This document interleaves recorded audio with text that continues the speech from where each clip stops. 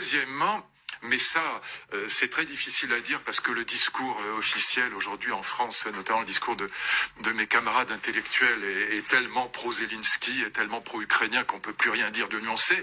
Mais la grande erreur des Ukrainiens, c'est la guerre du Donbass. C'est une immense erreur. Il y a quand même eu 15 000 morts.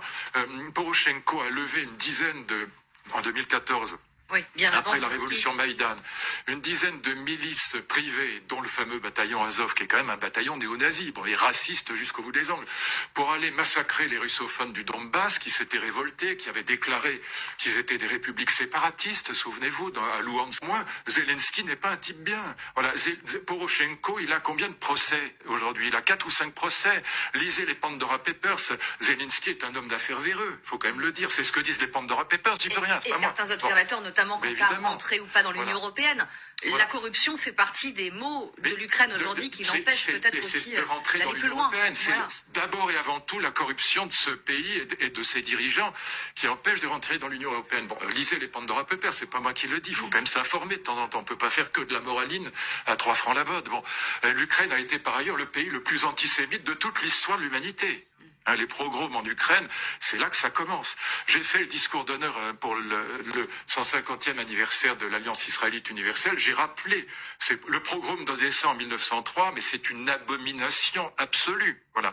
Et donc, Après, euh, l'histoire, euh, l'histoire mais même, que- même en 2006, le grand rabbin d'Ukraine demande aux Juifs de quitter les grandes villes parce qu'il y a des retours euh, antisémites. Alors, Zelensky est juif évidemment, et donc euh, ça, c'est c'est une.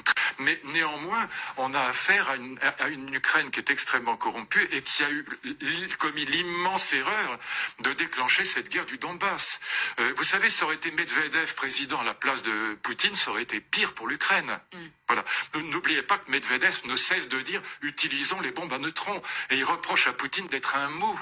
Et je parle pas de Kadyrov, ce serait mille fois pire. Voilà. Et donc on a affaire, si vous voulez, à une lutte fraternelle entre l'Ukrainien et Russe qui parlent la même langue d'ailleurs. Euh, le- le- Les Ukrainiens parlent aussi le russe, ils parlent pas que l'ukrainien. Et donc il y a un moment ou un autre, il faut qu'on, il y a presque 600 000 morts pour rien. pour Écoute, rien, rien. entre eux aussi. Vous allez le dire, Poroshenko, c'est pas Zelensky qui a déclenché la, la guerre du Donbass, c'est Poroshenko, qui lui vraiment est, alors c'est- franchement, c'est l'homme d'affaires véreux, mais alors véreux de chez véreux hein, c'est pas Oui. n'importe qui. Bon, et c'est pas moi qui le dis, c'est les, les tribunaux ukrainiens qui le disent, c'est pas les tribunaux euh, euh, russes. Hein, bon, et donc ce, type a déclenché la guerre du Donbass. Il y a eu 6000 civils ont été assassinés par les parce qu'ils étaient parce qu'ils parlaient russe, parce qu'ils étaient pro-russes, parce qu'ils parce qu'ils dé- ils étaient favorables à des républiques séparatistes. Bon, il fallait appliquer les accords de Minsk. Voilà, les accords de Minsk prévoyaient des élections libres dans ces territoires. Jamais euh, l'Ukraine n'a voulu le faire. Voilà. Donc euh, je suis désolé de le dire. Alors je sais, je vais me faire pulvériser sur les réseaux sociaux par les, les moralistes. Mais vous en avez l'habitude Oui, vous. mais c'est la vérité ce que je dire. Ouais. C'est euh, demander à notre camarade